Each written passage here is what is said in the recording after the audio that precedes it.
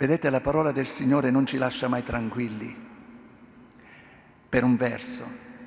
Per l'altro però ci dà sempre, dilaziona sempre la sua risposta. Ci dà sempre i tempi, non solo quelli consentiti, ma anche i tempi supplementari. Ma sciupiamo molto questa bontà, questa larghezza di misericordia.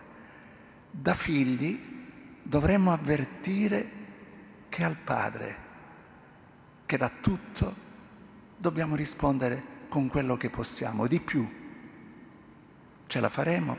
Certo, perché Lui non solo ci dà dei precetti da osservare, una parola da compiere, ma ci dà la grazia perché questi precetti e queste parole, le sue, possano trovare adempimento nella povera e misera nostra vita.